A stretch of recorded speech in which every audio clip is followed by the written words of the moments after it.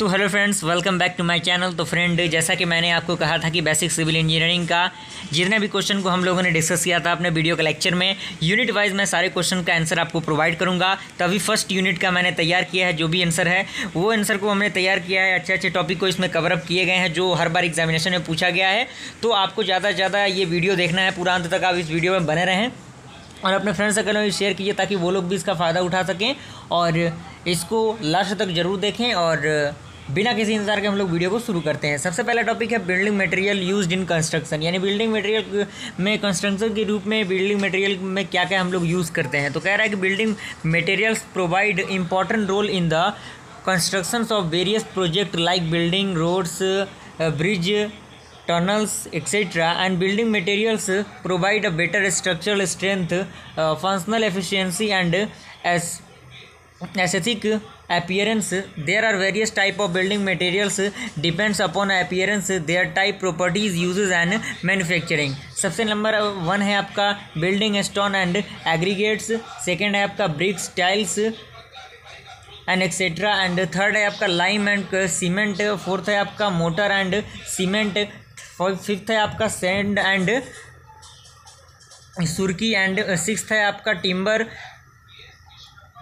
plywood and allied product and seven है आपका plastic PVC material and product and eight number आपका है iron steel and alloy and ninth है आपका insulating materials and tenth है आपका रूफ कन्वरिंग मटेरियल्स ओके तो ये कंप्लीट होता है एंड इसके हम बात करें क्लासिफिकेशन के तो stones and its classification stone are divided from a rocks earth crust and it does not have any definite shape and structure in actual there are the fragmented part of the rock and these are mainly form by the weathering और sedimentary rocks by the sun rays wind and water okay? और friend, अगला point इसी में है। Stone में भी classified four type four type में stone को डिवाइड किया गया है। Physical classification geological classification app and scientific engineering classification and fourth है आपका प्रैक्टिकल क्लासिफिकेशन जिसमें फ़िज़िकल क्लासिफिकेशन में लिखा गया physical classification depend upon physical classification rocks are classified into the two group यानी फ़िज़िकल क्लासिफिकेशन में जो आपके रॉक है, वो दो पार्ट में इसको डिवाइड किया गया है। स्ट्रेटिफाइड स्टोन जिसमें कह रहा है these stone are derived from the sedimentary rock these stone are found in layers one above the other one under to the another limestone and stones are the stratified stones and B है इसी में आपका अन stratified stone जिसमें कह रहा है these stones do not show any type of layer granite marble trap and etcetera are exam for this stone उसमें आपका सेकंड है, आपका इसी में जियोलॉजिकल क्लासिफिकेशन क्या है? तो जियोलॉजिकल क्लासिफिकेशन के बारे में आप देख सकते हैं। और इसमें आपका देख सकते हैं, कितने प्रकार के आते हैं, वो आपका इग्नियस रॉक आता है। साइंटिफिक इंजीनियरिंग क्लासिफिकेशन जिसमें आप देख सकते हैं depends upon the chemical composition जितने भी चीज़ें इसमें प्रोवाइड कराई जा रही हैं, बस आप इसका स्क्रीनशॉट लेते जाइए और अपने कॉपी में सही तरीके से नोट डाउन कीजिएगा। सारे टॉपिक को इसमें कवर अप किए गए हैं तो आप इसे देख सकते हैं।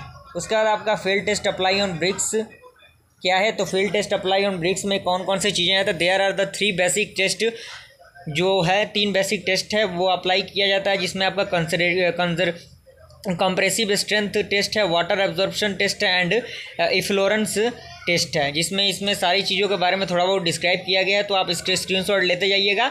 मैं नहीं चाहता कि वीडियो ज़्यादा लंबा हो तो बस मैं इसका स्क्रॉल डाउन कर रहा हूँ, आप लोग स्क्रीनशॉट लेते जाइएगा। और वीडियो पसंद आए तो वीडियो को लाइक ज़रूर कीजिएगा चैनल पर वह चैनल को सब्सक्राइब ज़रूर कीजिएगा। अगला टॉपिक आपका है various test of bricks bricks के कौन कौन से टेस्ट हैं, जो कि लेबोरेटरीज़ में यूज़ किए जाते हैं?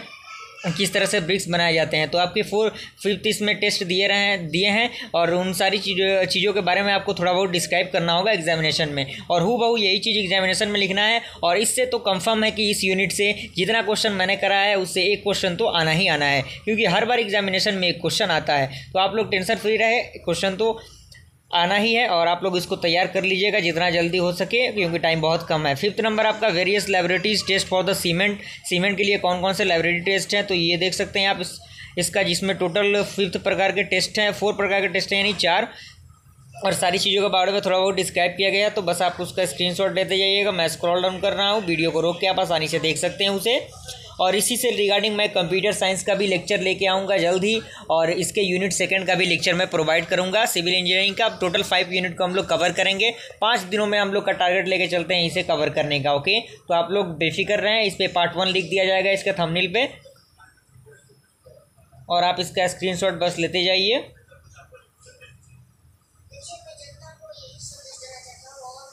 सिक्स नंबर आपका है workability of concrete concrete में वर्क एबिलिटी का क्या यूज़ होता है? तो वर्क एबिलिटी के बारे में ये डिस्क्राइब किया गया है। सेवन है आपका नोमियल कंक्रीट या फिर जिसे हम कहते हैं प्रोपो प्रोपर टेस्टिंग्स ऑफ़ कंक्रीट जिसमें आप देख सकते हैं ये इसका स्टेटमेंट है। और एट नंबर आपका काफ़ी इंपॉर्टेंट टॉपिक है, जो है आपका कर कर्निंग क्या होता है। तो curing is the process of keeping the concrete moist and warm enough so that the hydration of the cement can continue तो ये आप देख सकते हैं, इसका स्टेटमेंट है। इसमें एक पॉइंट दिया गया कि mostly commonly employed method of the curing are as follows water curing membranes curing application of heat application of curing component तो कंपाउंड ओके उसके बाद आपका नाइन नंबर टॉपिक है आरसीसी आरसीसी के बारे में आप लोगों ने सुना होगा बहुत अच्छी तरीके से। तो आरसीसी के बारे में डिस्क्राइब किया गया है, आप इसको देख सकते हैं।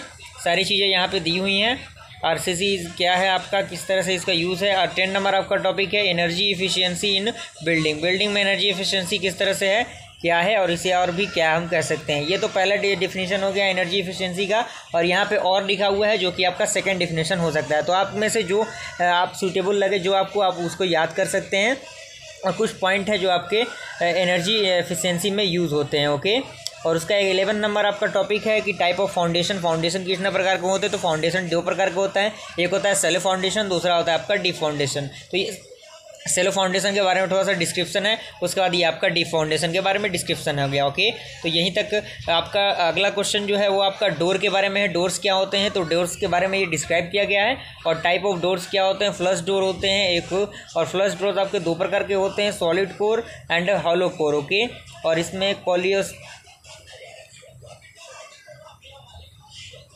सेकेंड ओके उसके उसके बाद आपका विंडोज़ आ गया। विंडोज़ के बारे में डिस्क्राइब किया गया। विंडो क्या होता है? कितने प्रकार का होता है? ओके यहीं पे आपका वीडियो खत्म होता है। आई होप आपकी वीडियो पसंद आए वीडियो पसंद आए वीडियो को लाइक कीजिए और चैनल पर चैनल को सब्सक्राइब कीजिए। फिर मिलते हैं अगले वीडियो में। तब तक के लिए थैंक यू